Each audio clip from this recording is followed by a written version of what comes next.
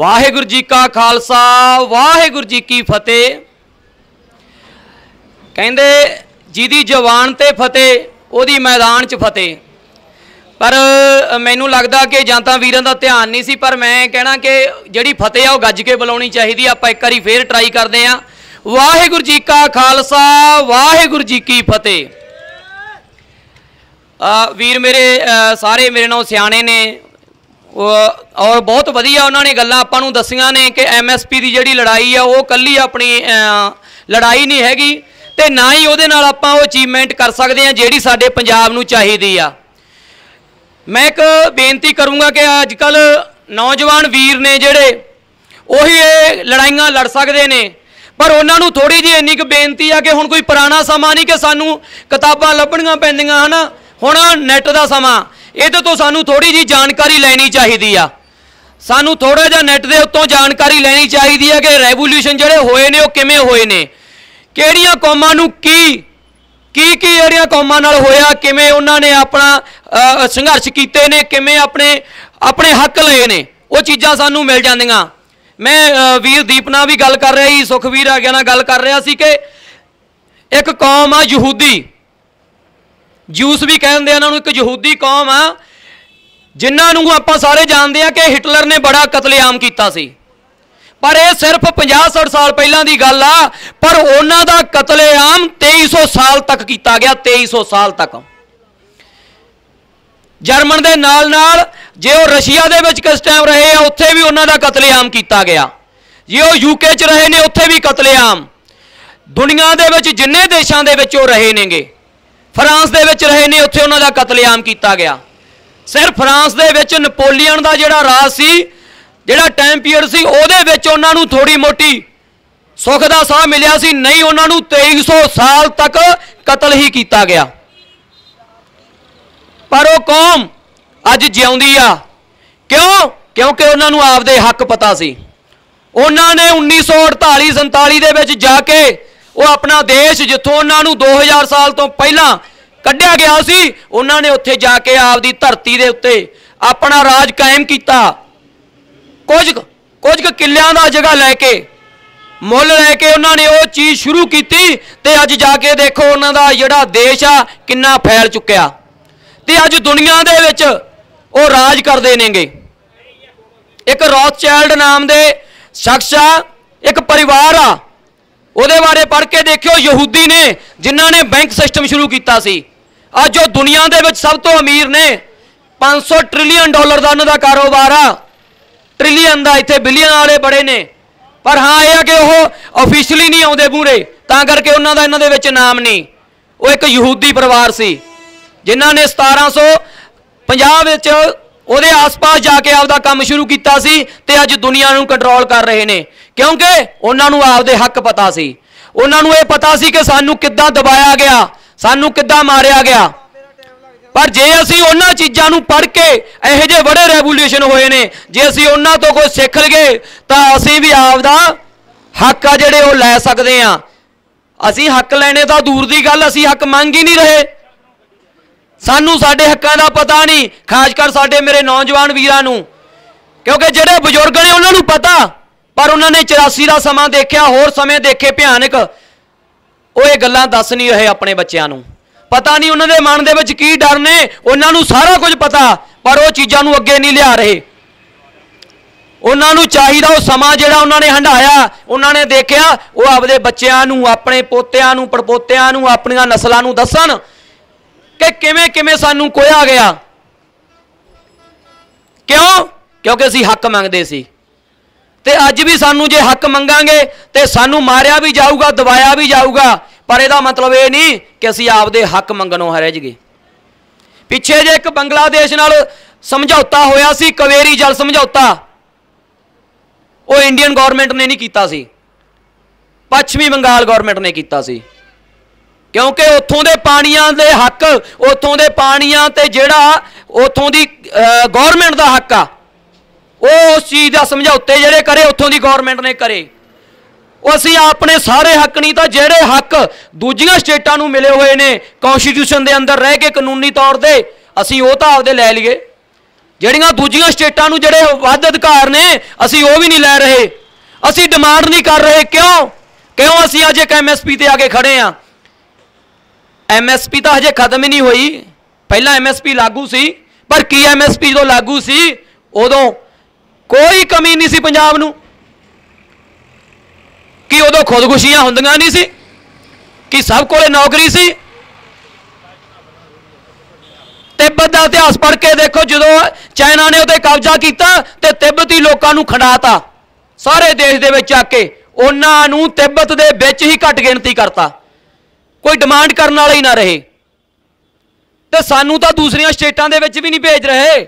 ਉੱਥੇ ਵੀ ਨਹੀਂ ਸਾਨੂੰ ਜ਼ਮੀਨ ਲੈਣ ਦਾ ਹੱਕ, ਪਰ ਸਾਡੇ ਇੱਥੇ ਹਰ ਕਿਸੇ ਨੂੰ ਹੱਕ ਆ, ਕੋਈ ਵੀ ਆ ਕੇ ਜ਼ਮੀਨ ਲੈ ਸਕਦਾ। ਕੀ ਇਹ ਨਾ ਇਨਸਾਫੀ ਨਹੀਂ?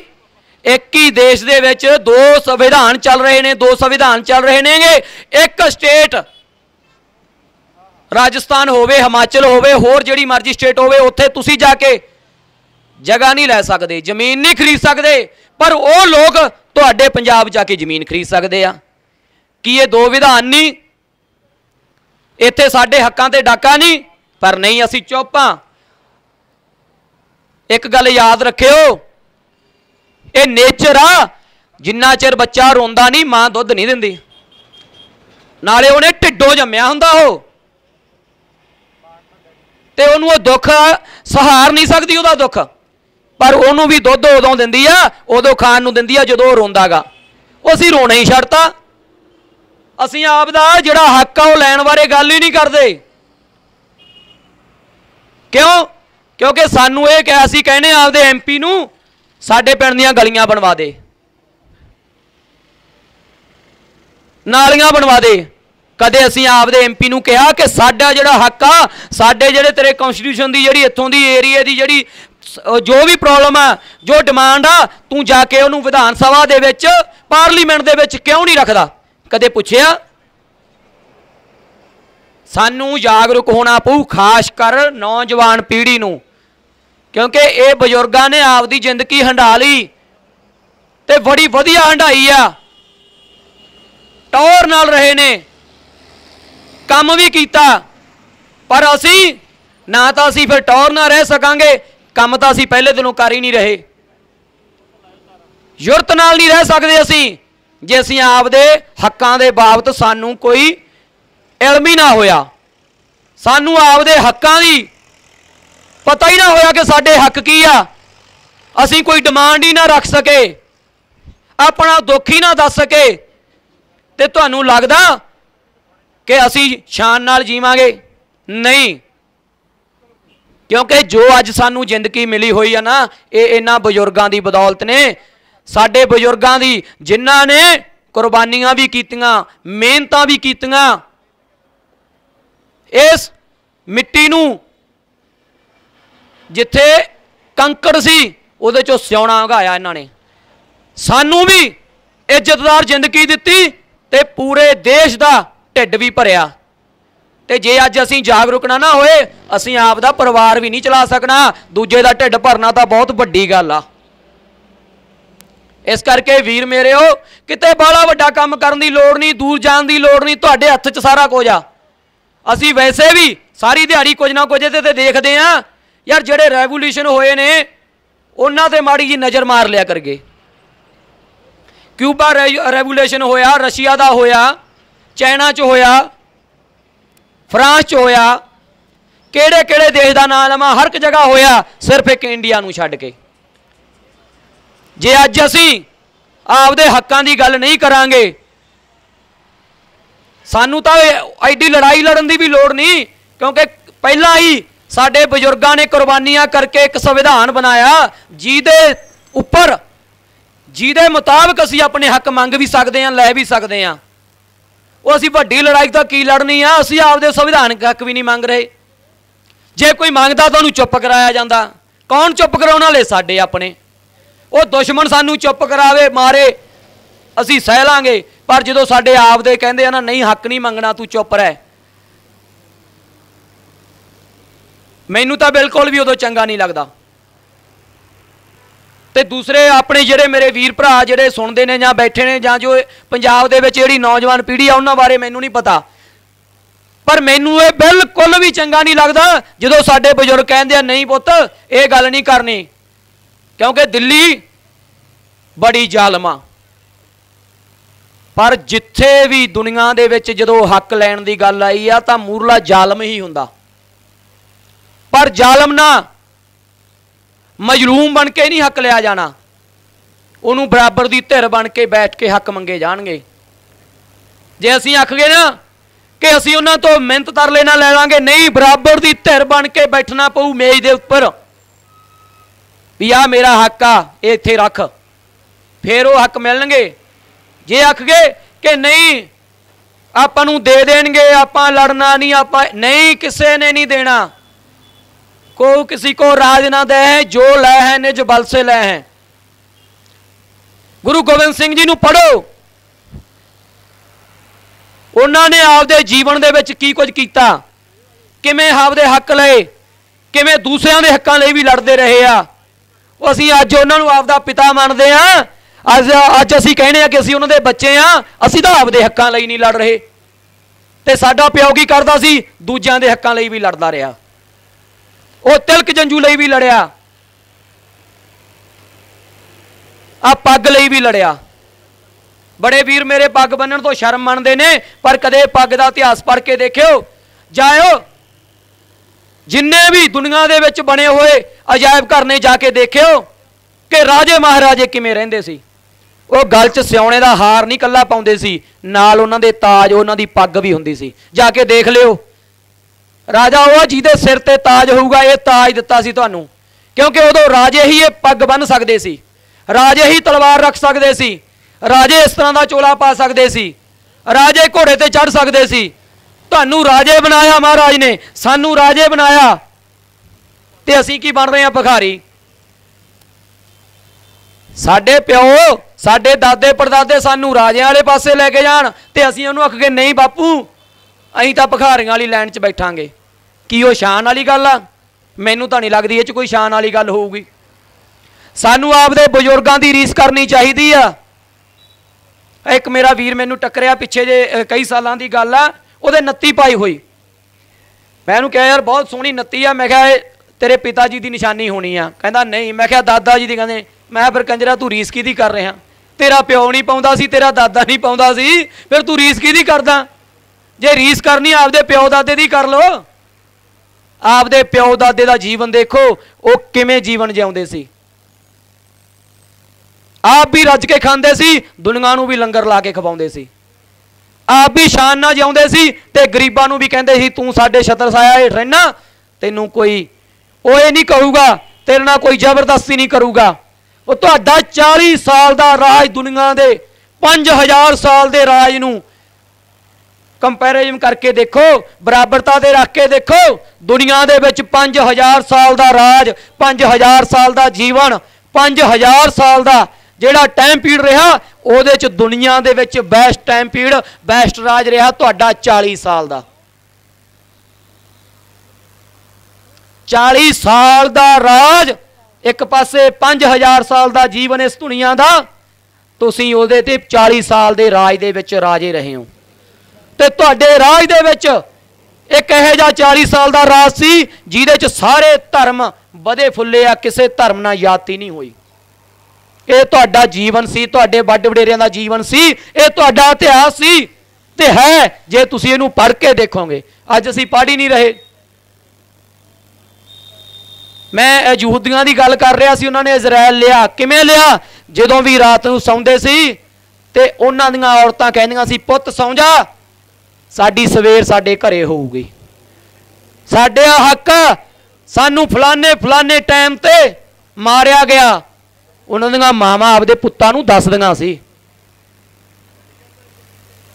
ਤੇ ਅੱਜ ਸਾਡੇ ਨੌਜਵਾਨ ਪੀੜ੍ਹੀ ਆ ਚਾਹੇ ਅੱਜ ਦੇ ਬੱਚੇ ਨੇ ਉਹਨਾਂ ਨੂੰ ਮੈਨੂੰ ਨਹੀਂ ਪਤਾ ਕਿਸੇ ਮਾਂ ਨੇ ਦੱਸਿਆ ਹੋਊਗਾ। ਤੇ ਜਿਹਨੇ ਦੱਸਿਆ ਉਹਦੇ ਬੱਚੇ ਅੱਜ ਵੀ ਰਾਜਾਂ ਦੀ ਤਰ੍ਹਾਂ ਰਹਿੰਦੇ ਆ। ਤੁਹਾਡਾ ਇਤਿਹਾਸ ਅੰਗਰੇਜ਼ ਪੜ੍ਹ ਲੈਂਦੇ ਆ, ਉਹ ਸਿੱਖ ਸੱਜ ਜਾਂਦੇ ਆ। ਤੁਹਾਡਾ ਇਤਿਹਾਸ ਕਾਲੇ ਪੜ੍ਹ ਲੈਂਦੇ ਆ, ਅਫਰੀਕਨ, ਉਹ ਤੁਹਾਡੇ ਸਿੱਖ ਸੱਜ ਜਾਂਦੇ ਆ। ਜੇ ਚੀਨੇ ਪੜ੍ਹ ਲੈਂਦੇ ਆ, ਉਹ ਸਿੱਖ ਸੱਜ ਜਾਂਦੇ ਆ। ਦੁਨੀਆ ਦਾ ਕੋਈ ਵੀ ਇਨਸਾਨ ਤੁਹਾਡਾ ਇਤਿਹਾਸ ਪੜ੍ਹ ਲੈਂਦਾ, ਉਹ ਤੁਹਾਡੇ ਵਰਗਾ ਬਾਨਾ ਲੋਚਦਾ। ਉਹ ਸਾਡੇ ਤਾਂ ਯਾਰ ਡੀਐਨਏ ਚ ਆ ਰਾਜ ਕਰਨਾ, ਸਾਡੇ ਤਾਂ ਇਹ ਰਾਜਸੀ ਜਿਹੜਾ ਖੂਨ ਆ। ਇਹ ਰਾਜਾਂ ਦੀ ਤਰ੍ਹਾਂ ਰਹਿਣਾ ਰਾਜਾਂ ਦੀ ਤਰ੍ਹਾਂ ਸੋਚਣਾ, ਆਪਣੀ ਮੱਤ ਉੱਚੀ ਰੱਖਣੀ, ਇਹ ਤੁਹਾਡੇ ਤਾਂ ਡੀਐਨਏ ਦੇ ਵਿੱਚ ਆ। ਕਿ ਤੁਸੀਂ ਆਪ ਦਾ ਇਤਿਹਾਸ ਪੜ੍ਹ ਕੇ ਆਪਣੇ ਆਪ ਨੂੰ ਬਦਲ ਨਹੀਂ ਸਕੋਗੇ? ਇੱਕ ਵਾਰੀ ਕੋਸ਼ਿਸ਼ ਤਾਂ ਕਰਕੇ ਦੇਖੋ ਕਿ ਅਸੀਂ ਆਪ ਦਾ ਹੀ ਇਤਿਹਾਸ ਪੜ੍ਹ ਲਗੇ। ਅਸੀਂ ਦੂਜਿਆਂ ਬਾਰੇ ਵੀ ਪੜ੍ਹਦੇ ਆਂ ਸੁਣਦੇ ਆਂ ਦੇਖਦੇ ਆਂ ਕਦੇ ਆਪ ਦਾ ਇਤਿਹਾਸ ਪੜ੍ਹਿਓ। ਤੇ ਜੇ ਨਹੀਂ ਪੜਨ ਨੂੰ ਸ਼ਰਮ ਆਉਂਦੀ ਆ ਨਾ, ਜਿਹੜੇ ਅੰਗਰੇਜ਼ ਸਿੱਖ ਬਣੇ ਨੇ, ਉਹਨਾਂ ਨੂੰ ਪੁੱਛ ਲਿਓ, ਤੁਸੀਂ ਸਿੱਖ ਕਿਵੇਂ ਬਣੇ ਹੋ? ਕਿਉਂ ਬਣੇ ਹੋ? ਕਿਹਨੇ ਤੁਹਾਨੂੰ ਕਿਹਾ ਸਿੱਖ ਬਣ ਨੂੰ? ਕਿਸੇ ਨੇ ਮਜਬੂਰ ਕੀਤਾ? ਉਹ ਦੱਸ ਦੇਣਗੇ ਕਿ ਤੁਹਾਡਾ ਇਤਿਹਾਸ ਪੜ੍ਹ ਕੇ ਤੁਹਾਡੇ ਵਰਗੇ ਬਣੇ ਆ। ਕਿਸੇ ਨੇ ਮਜਬੂਰ ਨਹੀਂ ਕੀਤਾ। ਇੱਕ ਇਹੋ ਜਿਹਾ ਸਿੱਖ ਧਰਮ ਆ, ਜਿਹਦੇ ਚ ਲੋਕ ਆਪ ਦੀ ਆਪ ਕਨਵਰਟ ਹੁੰਦੇ ਆ। ਨਹੀਂ, ਦੁਨੀਆ ਦੇ ਜਿੰਨੇ ਵੀ ਦੇਸ਼ ਹੋਏ ਆ, ਜਿੰਨੇ ਵੀ ਧਰਮ ਹੋਏ ਆ, ਮੈਂ ਕਿਸੇ ਨੂੰ ਮਾੜਾ ਨਹੀਂ ਕਹਿਣਾ ਚਾਹੁੰਦਾ, ਪਰ ਜ਼ਿਆਦਾਤਰ ਤਲਵਾਰ ਨਾਲ ਫੈਲਾਏ ਗਏ ਆ। ਇੱਕ ਤੁਹਾਡਾ ਧਰਮ ਆ, ਜਿਹੜਾ ਲੋਕ ਆਪਣੇ ਆਪ ਨੂੰ ਤੁਹਾਡੇ ਵਰਗਾ ਬਣਨਾ ਲੋਚਦੇ ਆ, ਤੁਹਾਡੇ ਵਰਗੇ ਬਣਦੇ ਆ, ਤੁਹਾਡੀ ਰੀਸ ਕਰਦੇ ਆ। ਬਿਨਾ ਤਲਵਾਰ ਤੋਂ, ਬਿਨਾ ਹਥਿਆਰ ਤੋਂ, ਬਲਕਿ ਆ ਕੇ ਤੁਹਾਡਾ ਇਤਿਹਾਸ ਪੜ੍ਹ ਕੇ ਤੁਹਾਡੇ ਮੂਹਰੇ ਹੱਥ ਜੋੜ ਕੇ ਕਹਿੰਦੇ ਆ, ਸਾਨੂੰ ਵੀ ਆਪਣੇ ਵਰਗਾ ਬਣਾ ਲਓ। ਤੇ ਅਸੀਂ ਅੱਜ ਕੀ ਕਹਿੰਦੇ ਆ ਕਿ ਅਸੀਂ ਉਹਨਾਂ ਵਰਗੇ ਬਣ ਜੀਏ ਇਹ ਅਮੀਰੀ ਇਹ ਅਮੀਰੀ ਆਪ ਦਾ ਵਿਰਸਾ ਛੱਡ ਕੇ ਨਹੀਂ ਆਉਂਦੀ। ਜੇ ਆਖਗੇ ਨਾ ਕਿ ਅਸੀਂ ਦੂਸਰੇ ਅਮੀਰਾਂ ਦੀ ਰੀਸ ਕਰ ਲਾਂਗੇ, ਉਹੋ ਜਿਹੀਆਂ ਗੱਡੀਆਂ, ਉਹੋ ਜਿਹੇ ਰਹਿਣ ਸਹਿਣ ਉਹੋ ਜਿਹੇ ਕੱਪੜੇ ਪਾ ਲਏ ਉਹੋ ਜਿਹੇ ਹੇਅਰ ਸਟਾਈਲ ਬਣਾ ਲਿਆ, ਅਸੀਂ ਅਮੀਰ ਲੱਗਣ ਲੱਗ ਜਾਾਂਗੇ। ਨਹੀਂ ਅਮੀਰੀ ਆਪਦੇ ਕਲਚਰ ਨਾਲ ਆਉਂਦੀ ਆ। ਤੁਹਾਡੇ ਕੋਲੇ ਨੈਟ ਆ। ਯੂਏਈ ਦਾ ਸਾਊਦੀ ਅਰਬ ਦੇ ਕਿੰਗ ਦੇ ਜੀਵਨ ਸਟਾਈਲ ਨੂੰ ਦੇਖੋ। ਉਹਨਾਂ ਦੇ ਲੈਟਰਿੰਗ ਟਾਇਲਟਾਂ ਦੇ ਵਿੱਚ ਵੀ ਸਿਉਣਾ ਲੱਗਿਆ ਹੋਇਆ। ਕੀ ਉਦੋਂ ਅਮੀਰ ਕੋਈ ਹੋਊਗਾ? ਪਰ ਉਹ ਆਪਦੇ ਕਲਚਰ 'ਚ ਰਹਿੰਦੇ ਆ। ਅੱਜ ਵੀ ਉਹ ਉਸ ਤਰ੍ਹਾਂ ਦੇ ਹੀ ਕੱਪੜੇ ਪਾਉਂਦੇ ਆ, ਉਹ ਉਹੋ ਜੀਵਨ ਰੱਖਦੇ ਆ। ਉਦਾਂ ਦਾ ਉਹ ਜੋ ਉਹਨਾਂ ਦੇ ਪੱਗ ਜਾਂ ਕੁਝ ਵੀ ਆ ਉਹ ਰੱਖਦੇ ਆ, ਟੋਪੀ ਆ ਆਪਦਾ ਉਹ ਚਿੱਟੇ ਰੰਗ ਦਾ ਵਾਈਟ ਕਲਰ ਦਾ ਪਾਉਂਦੇ ਆ, ਉਹ ਉਵੇਂ ਆਪਣਾ ਜੀਵਨ ਜਿਉਂਦੇ ਆ, ਉਹਦੇ 'ਚ ਅਮੀਰੀ ਰੱਖਦੇ ਆ। ਅਸੀਂ ਉਹਨਾਂ ਤੋਂ ਤਾਂ ਨਹੀਂ ਅਮੀਰ ਹੋ ਸਕਦੇ ਜਿਨ੍ਹਾਂ ਦੇ ਟਾਇਲਟਾਂ ਦੇ ਵਿੱਚ ਵੀ ਸਿਉਣਾ ਲੱਗਿਆ ਹੋਇਆ। ਕੀ ਉਹ ਆਪਦਾ ਕਲਚਰ ਛੱਡ ਗਏ? ਆਪਦਾ ਕਲਚਰ ਆ ਜਿਹੜਾ, ਉਹ ਸਭ ਤੋਂ ਵੱਡੀ ਅਮੀਰੀ ਹੁੰਦੀ ਆ। ਅਸੀਂ ਆਪਦੀ ਬੋਲੀ ਨੂੰ ਨਫ਼ਰਤ ਕਰ ਰਹੇ ਹਾਂ ਅਸੀਂ ਆਪਦੇ ਕਲਚਰ ਨੂੰ, ਆਪਦੇ ਰਹਿਣ ਸਹਿਣ ਨੂੰ, ਆਪਣੇ ਵੱਡ ਵਡੇਰਿਆਂ ਨੂੰ ਕਹਿੰਦੇ ਆ, ਨਹੀਂ, ਇਹ ਤਾਂ ਰੂੜੀਵਾਦੀ ਨੇ, ਨਹੀਂ। ਉਹ ਰਾਜਿਆਂ ਵਰਗਾ ਜੀਵਨ ਜਿਉਂਦੇ ਆ, ਪਰ ਦੁਨੀਆ ਦਾ ਹੀ ਜ਼ੋਰ ਲੱਗਿਆ ਹੋਇਆ ਕਿ ਤੁਹਾਨੂੰ ਰਾਜਿਆਂ ਤੋਂ, ਤੁਹਾਡੀ ਜਿਹੜੀ ਸੋਚ ਆ, ਉਹ ਰਾਜਿਆਂ ਵਾਲੀ ਨਹੀਂ ਰਹਿਣ ਦੇਣੀ। ਇਸ ਕਰਕੇ ਆਪ ਦਾ ਇਤਿਹਾਸ ਪੜ੍ਹੋ, ਆਪ ਦੇ ਹੱਕਾਂ ਲਈ ਖੜੇ ਹੋਵੋ, ਕਿਉਂਕਿ ਹੱਕ ਲਏ ਜਾਂਦੇ ਆ। ਕੋਈ ਦਿੰਦਾ ਨਹੀਂ ਮੰਗੇ ਤੋਂ, ਹੱਕ ਲੈਣੇ ਪੈਂਦੇ ਆ। ਤੇ ਅੱਜ 21ਵੀਂ ਸਦੀ ਆ, ਅੱਜ ਤਾਂ ਬਾਲਾ ਲੜਾਈ ਕਰਨ ਦੀ ਲੋੜ ਨਹੀਂ, ਸਿਰਫ ਜਾਗਰੂਕ ਹੋਣ ਦੀ ਲੋੜ ਆ। ਕਿਉਂਕਿ ਤੁਹਾਡਾ ਤਾਂ ਇਹੋ ਜਿਹਾ ਇਤਿਹਾਸ ਰਿਹਾ, ਤੁਸੀਂ ਦੋ ਵਾਰ ਇਕੱਠੇ ਹੋਏ ਹੋ ਇੱਕ ਝੰਡੇ ਥੱਲੇ ਤੇ ਦੋਨੇ ਵਾਰ ਰਾਜ ਕੀਤਾ ਤੁਸੀਂ। ਬੰਦਾ ਸਿੰਘ ਬਹਾਦਰ ਵੇਲੇ ਦਾ ਚੱਕ ਲਓ। ਜਦੋਂ ਤੁਸੀਂ ਪਾਟੇ ਬਦਾਈ ਖਾਲਸਾ, ਤਤ ਖਾਲਸਾ, ਅੱਡੋ ਅੱਡ ਹੋ ਗਏ, ਤੁਹਾਡਾ ਰਾਜ ਉਦੋਂ ਹੀ ਖਤਮ ਹੋ ਗਿਆ। ਨਹੀਂ, ਜਿੰਨਾ ਚਿਰ ਇੱਕ ਝੰਡੇ ਥੱਲੇ ਰਹੇ, ਰਾਜ ਕੀਤਾ। ਦੂਸਰੀ ਵਾਰ, ਮਿਸਲਾਂ ਵੇਲੇ, ਮਹਾਰਾਜਾ ਰਣਜੀਤ ਸਿੰਘ ਵੇਲੇ, ਇੱਕ ਝੰਡੇ ਥੱਲੇ ਇਕੱਠੇ ਹੋਏ ਹੋ, ਦੁਨੀਆ ਤੇ ਸਭ ਤੋਂ ਬੈਸਟ ਰਾਜ ਕੀਤਾ ਤੁਸੀਂ। ਜਿੱਦਨ ਤੁਹਾਡੇ ਵਿੱਚ ਗਦਾਰ ਵੜ ਗਏ, ਤੁਹਾਡੇ ਚ ਵੰਡੀਆਂ ਪਾਤੀਆਂ, ਤੁਹਾਨੂੰ ਪਾੜਤਾ, ਤੁਸੀਂ ਆਪਸ ਵਿੱਚ ਪਾਟ ਗਏ, ਤੁਹਾਡਾ ਰਾਜ ਉਦੋਂ ਹੀ ਖਤਮ ਹੋ ਗਿਆ।